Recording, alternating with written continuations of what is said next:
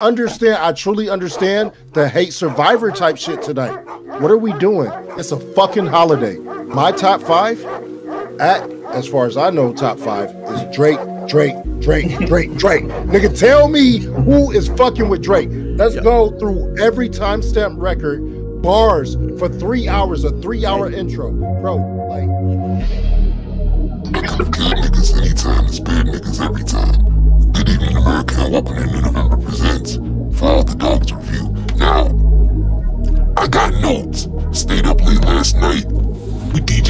Academics on his little live stream. I, I, I, I, I just assume he made it to 6 o'clock. I tried for you, Drake, brother. I tried. Um, now, from what I got, right?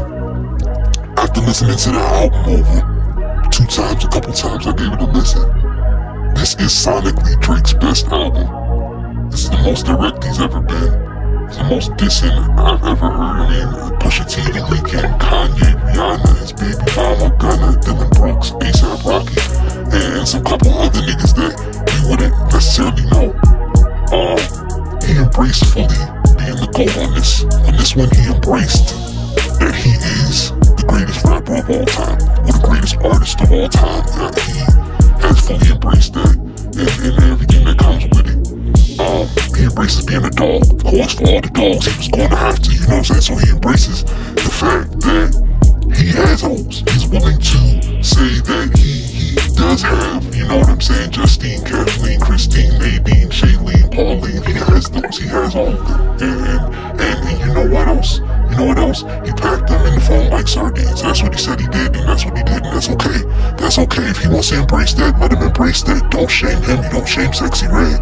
You don't shame Sexyy Red. That's another thing I'm not gonna talk about. Um, I'm not gonna talk about features because I feel like it's uh, it, will ruin it for the rest of you who haven't listened to the motherfucker twice. If you haven't listened to it twice, go listen to it twice. You, you, uh, you know what I'm saying? I'm not gonna, I'm not gonna say too much. I want you to, like I said, I got notes, so I'm gonna go ahead and uh, he has interludes. He brought back the interludes. You know, I haven't, I haven't, you know what I mean, really had any Drake interludes in a while. You know what I'm saying? You know, he, he famously started with the Breeze interlude, and you know, I, I love the Drake interludes on the album. You know, it makes for classic shit.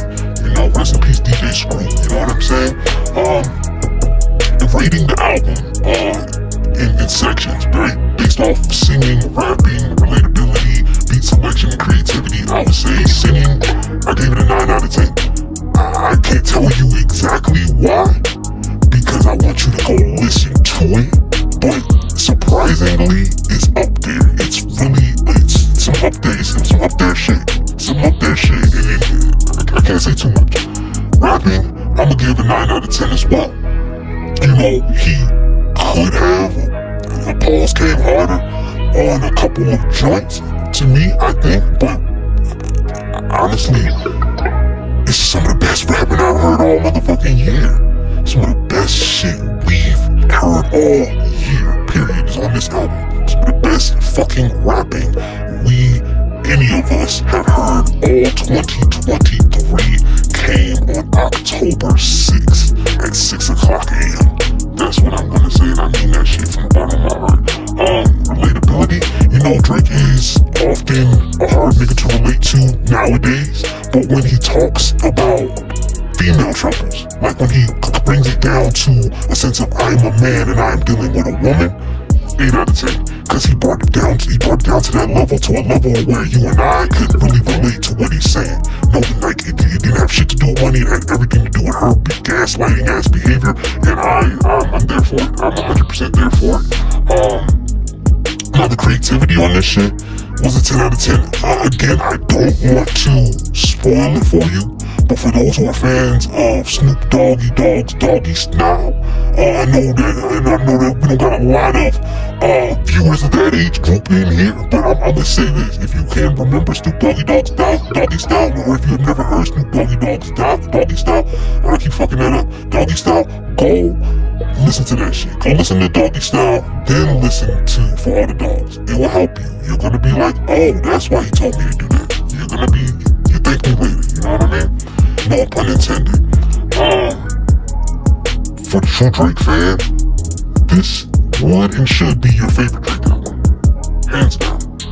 I say that because he wrote this to be the, your favorite Drake album. Like if you are a fan of Drake, if you are a hardcore diehard fan of Drake and you've been watching him transition over the years and grow and, and see what, what this this whole thing has become, you you're gonna love this. Absolutely love it. It's gonna be something that you cherish.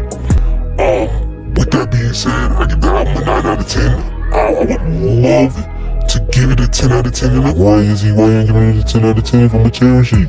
Because I can say this about it. It didn't start as hard as some of his other albums. It didn't like start off like uh, nigga suck my dick like some of the other albums.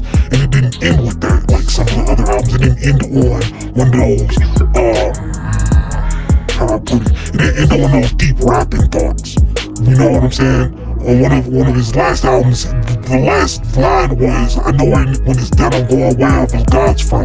Like, like that's deep shit. Didn't get the last song didn't give me much to think about far as the future goes, and the first song didn't give me that feeling of, oh, you niggas done did it now. You know what I'm saying? But all through and through, all throughout, classic, classic, certified platinum. Uh, and I couldn't ask for anything more than that.